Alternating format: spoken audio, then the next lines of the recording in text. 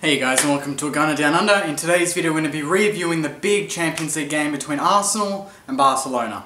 Okay, so let's cut straight to the chase. Final score Arsenal nil, Barcelona 2. Messi 2. It, it, was, it was an interesting game guys. I mean, to be honest, for the first 70 minutes I was incredibly proud of our performance and and obviously frustrated with some of the chances that we that we missed, which I'll, I'll delve into in a little bit.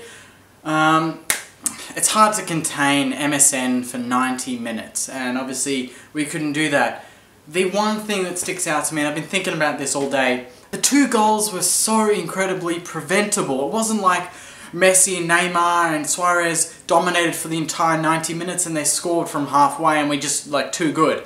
The first goal, Coquelin had the chance to push forward and be more aggressive with the ball and he goes backwards and that just set us back and it allowed Barcelona to push up and that caused the turnover which then obviously turned into and a very impressive counter-attack. 16 seconds from one end of the field to the other. Neymar, Suarez, Messi, goal, you know, and first time Messi scored against Cech, which he soon follows with another penalty, which we'll get into just a sec. So we did exactly what I thought we needed to do. We were very compact at the back, but we, we didn't sit too deep, and we hit them hard on the break. And I was surprised, obviously, I thought Welbeck was going to start, but Chamberlain started, and he started very brightly. There were a number of chances where he was one-on-one -on, -one on the right wing, and he did some great things. His pace was very beneficial for our team. Men of the match, I think Monreal and Bellerin, they were unbelievable. Bellerin facing Neymar, who's one of the most informed players of the past year, did an incredible job. There were times, obviously, that Neymar's class just shone and he got through. He would have gotten past any defender in the world. But Bellerin, at that age, at 19 or 20 years old, against three of the top four attackers in the world, he just did an outstanding job. And Monreal, with Messi, with the best player on the planet, some of the tackles he was laying when he was on a yellow card, he put the foot in at the right time. He's one of the best, he's got to be in the top five best left backs in the world. Surely he's, he's up there, he's that good. And it's just incredible some of the progress he's made in the past you know, 24 months. It's just unbelievable, and he was just incredible. Mertesacker, again, very frustrating with the penalty and and the changes that, that Wenger made I thought were just quite wrong. I think that kind of did set us back. I think Welbeck should have come on a lot earlier because when he did, he made a massive difference. The one change, which you guys know I'm going to mention, Flamini.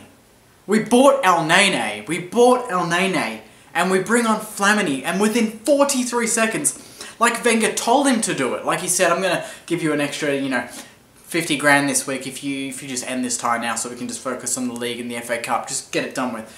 And he just comes in 43 seconds in and he just gives away a penalty, rolls up his sleeves, you know, looking all tough like he's a leader, and he's just cost us the tie, you know, it's just... What, why don't you bring on Elneny? We had Campbell on the on the bench, and for all the hard work he's put in all season, he doesn't even get a gig. You know, uh, it's just...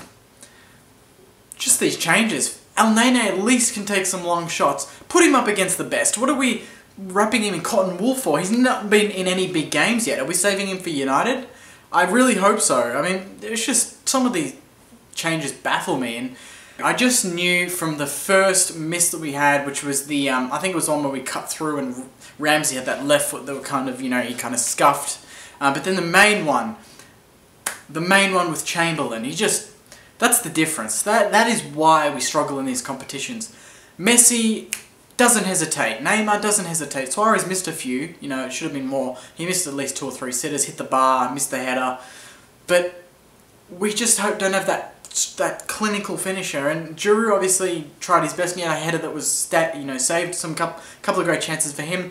Sanchez, when when did he have any decent shots apart from the one he had in the box when when you know there were ten players in front of him and it was going to be blocked anyway? You know, it's just he's such a good attacker, but he's been so off lately, and his energy was there today, and his energy's always there, but where's the where's that final that ball, that final finishing part of his game? I really hope it comes back for United. We could have at least gotten a draw out of this. We could have, we should have scored first. We had a couple of chances, you know, Welbeck's chance where he flicked it down to Ramsey, just all these half chances that could have made the difference, and it reminded me that particularly that Chamberlain miss, it reminded me of, you guys will remember, that Ozil penalty a couple years ago, Bayern Munich at home.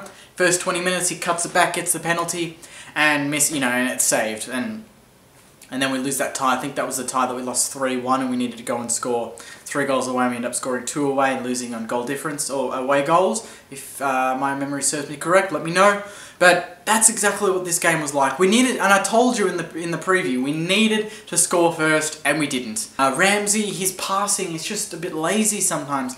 I Everyone rates his um, box-to-box running capacity and obviously that was that was shown in the first half. He ran the most out of any uh, any play. He ran almost seven kilometers in the first half of the match. I heard on on SBS. But his passing is just so lazy sometimes. That part of his game really let him down. And and often, a, you know, a couple of years ago, that was covered up by the goals he was scoring. But he hasn't scored a goal in a long time in a big game.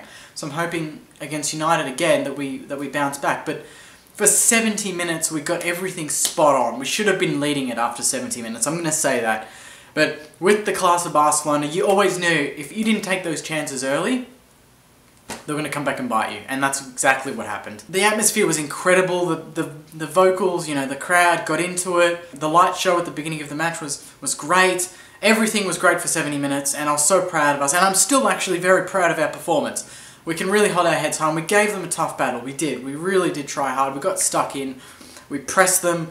We attacked them. We generated chances. The cutting edge, that's the difference. Flamini, can we start a petition where we can get 10,000 signatures from, from Arsenal supporters to, to terminate his contract? Because, I know this, this might sound a bit harsh, but he cost us today. We could have gotten a draw. And then he comes on and the tie's done. Anyway, guys, we've got United next. My preview for that will be up in a day or two, so stay tuned for that. I'll leave your comments below. Were you proud of us?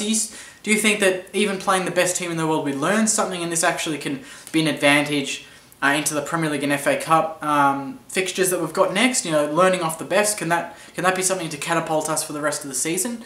Um, or is this going to hurt our confidence? I don't think it'll hurt our confidence. Um, I just think we'll be disappointed, but we'll obviously stick to what works and we'll go to United and hopefully get a result there. But yeah, that's it from me, guys. Please like, comment, subscribe. Great feedback from you lately, and stay tuned for my preview against United. It's going to be a big one. Catch you later.